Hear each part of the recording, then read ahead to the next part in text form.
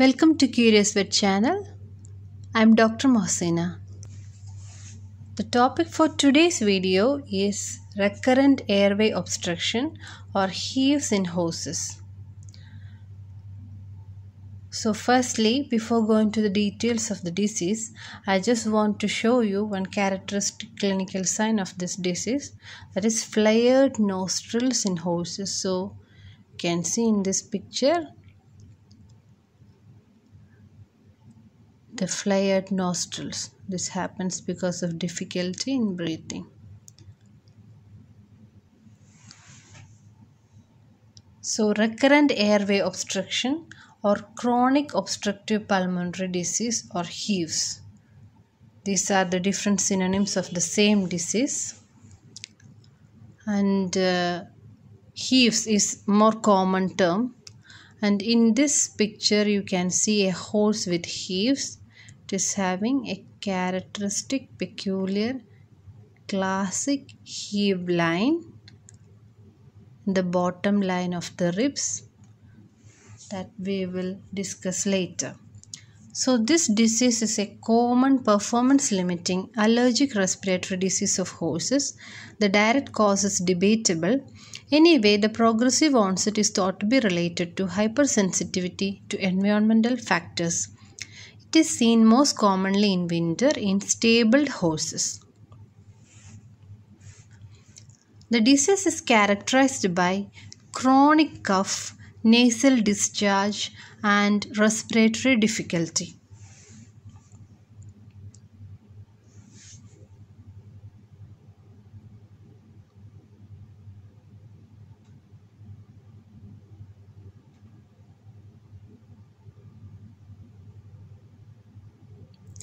You can see the peculiar classic heave line here in the bottom line of the ribs.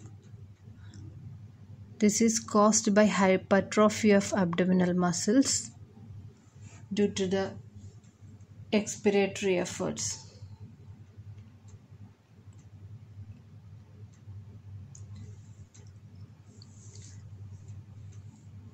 So, there will be episodes of airway obstruction when susceptible horses are exposed to common allergens.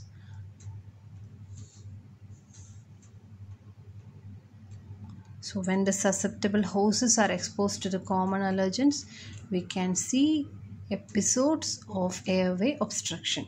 And most horses exhibit clinical signs when they are stabled or bedded on straw or fed hay. An elimination of these inciting factors results in remission or attenuation of clinical signs. Pathophysiology involves neutrophilic small airway inflammation, mucus production, and bronchoconstriction in response to allergen exposure.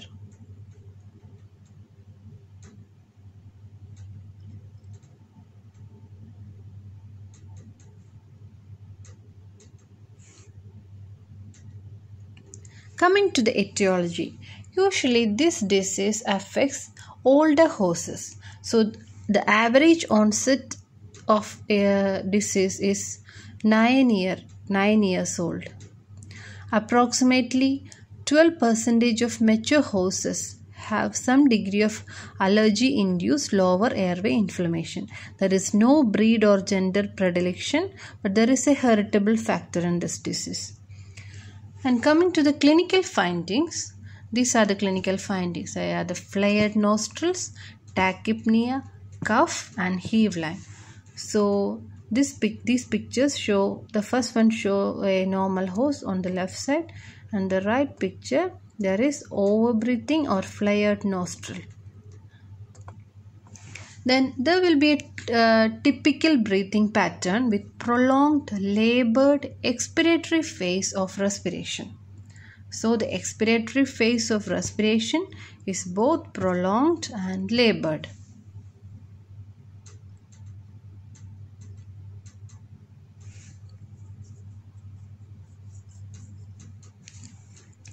Cough may be productive and often occurs during feeding or exercise.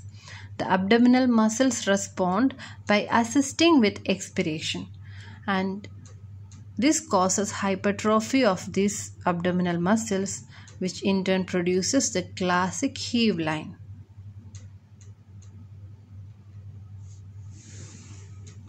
So this is a picture of classic heave line can be seen along the bottom ed edge of the ribs due to hypertrophy of the abdominal muscles which assist in breathing and become large from excess work.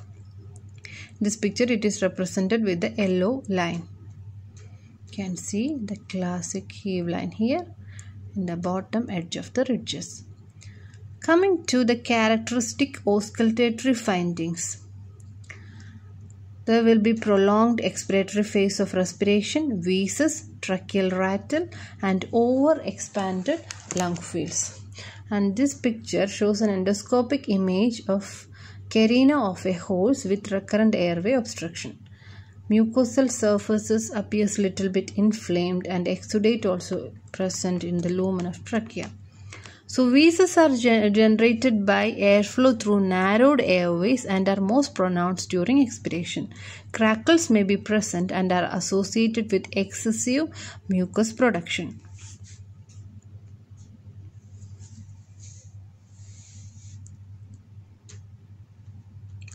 Mild to moderately affected uh, horses may present with minimal clinical signs at rest, but coughing and exercise intolerance are noted during performance. Horses with recurrent airway obstruction are not typically febrile unless secondary bacterial pneumonia has developed. So these horses with uh, or recurrent airway obstruction have no fever unless they are affected with secondary bacterial infections. Then horses from southeastern United States may demonstrate clinical signs on late summer pasture. It likely reflects sensitivity to molds or grass pollens. This is referred to as summer pasture associated obstructive pulmonary disease. The management is similar to that of heaves with addition to pasture, pasture avoidance.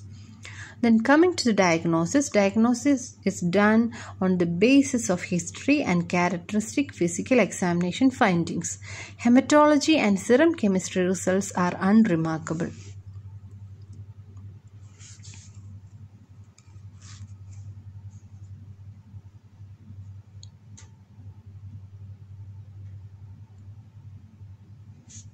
This is a picture of a horse with heaves. It is having labored breathing. You can see the open mouth breathing and uh, the peculiar posture and also the flared nostrils are visible here.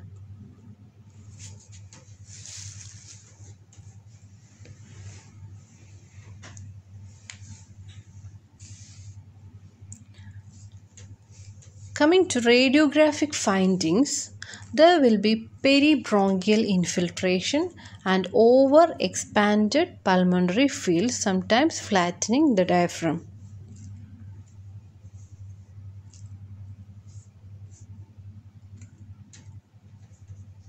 But these signs are not confirmatory. So in this picture it shows the right lateral radiograph and uh, in in this you can see uh, the characteristic bronchial infiltration. There is it is seen throughout the lungs. And here the diaphragm is concave. Thoracic radiographs are of little benefit in confirming the diagnosis of recurrent airway obstruction not necessary in horses with characteristic clinical signs unless there is no response to standard treatment after 14 days of therapy.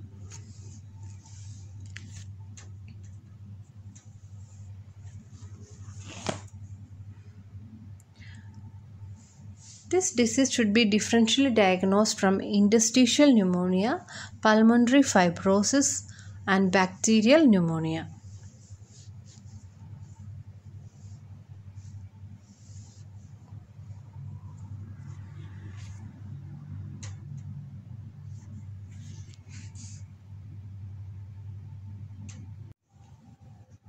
Bronchoalveolar lavage is rarely required for diagnosis of fulminant recurrent airway obstruction.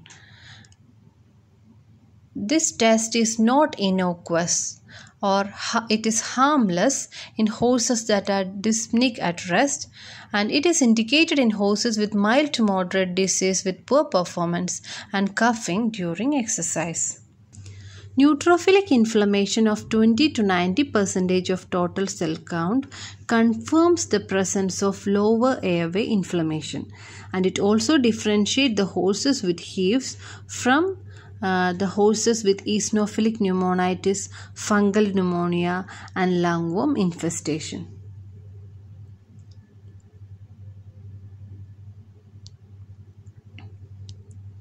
Cytologic evaluation reveals a peculiar structure called Curschmann spirals. It represents inspissated mucus or cellular cast from obstructed small airways.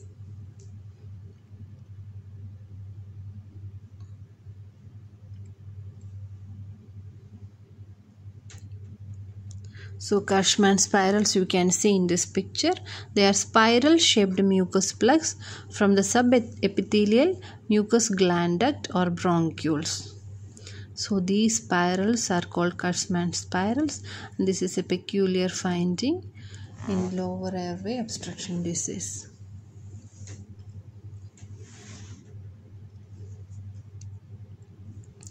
Treatment Environmental management should be done to reduce allergen exposure because medication will alleviate clinical signs of disease, but the respiratory disease will return after medication is discontinued if the horse remains in allergen challenged environment.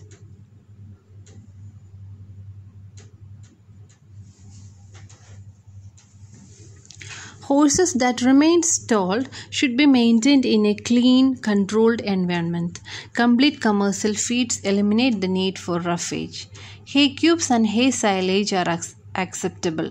Low allergen or alternative sources of roughage may be preferred by horses over the complete feeds.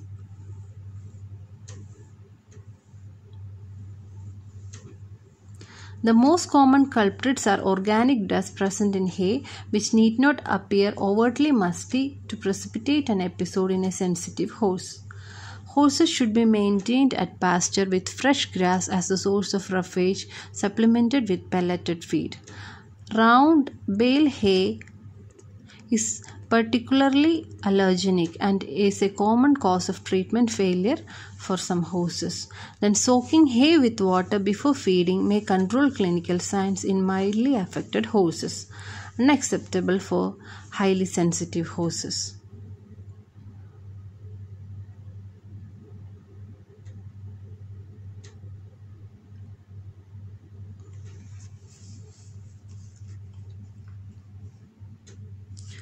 Horses maintained in a stall should not be housed in the same building as an indoor arena. Hay should not be stored overhead. Straw bedding should be avoided.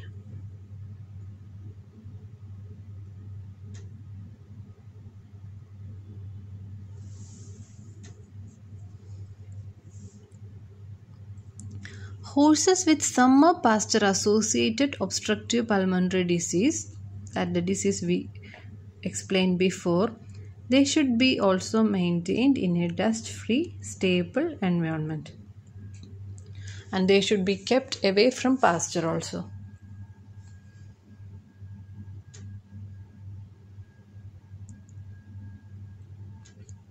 Coming to the medical management of heaves, it is a combination of bronchodilating agents and corticosteroidal preparation. Bronchodilating agents will provide relief of airway obstruction while the corticosteroid preparations reduce pulmonary inflammation.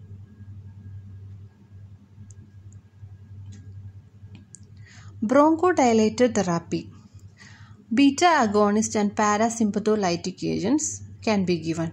They provide immediate relief of airway obstruction until the clinical signs of diseases are controlled by corticosteroids.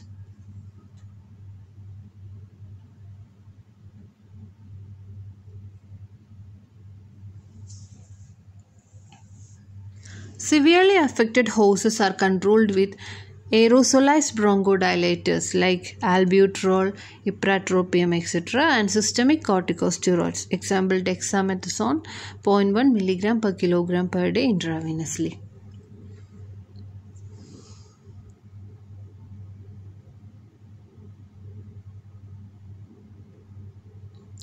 But horses with mild to moderate airway inflammation can be given aerosolized corticosteroids and aerosolized or systemic bronchodilators like clenbuterol.